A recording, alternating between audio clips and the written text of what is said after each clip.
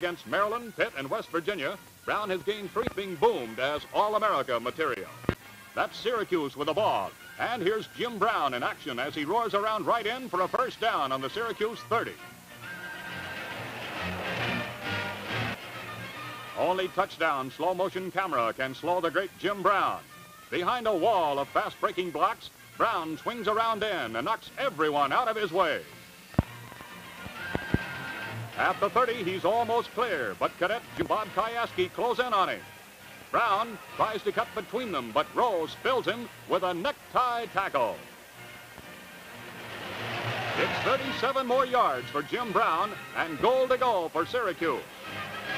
Remember that Syracuse one-two punch we saw before the game? Final period, they mount another offensive as Vince Barta bangs out a nine-yard gain.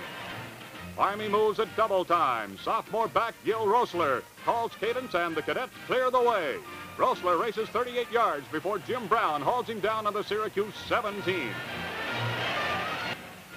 Second down and the cadets call on Mike Morales who makes his way to the two-yard line.